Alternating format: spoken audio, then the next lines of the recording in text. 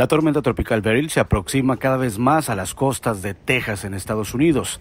Esta tormenta tropical se desplaza sobre el noroeste del Golfo de México, aproximándose a las costas de Texas. Su circulación producirá lluvias puntuales y fuertes en algunas regiones de Tamaulipas, así como lluvias con chubascos en Coahuila y Nuevo León.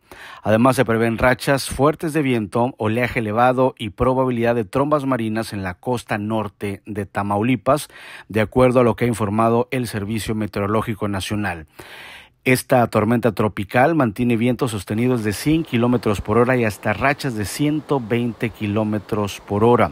La amplia circulación de Beryl genera lluvias en la zona sur tejana, donde se prevé que vaya a impactar durante las próximas horas, pero ya como un huracán categoría 1.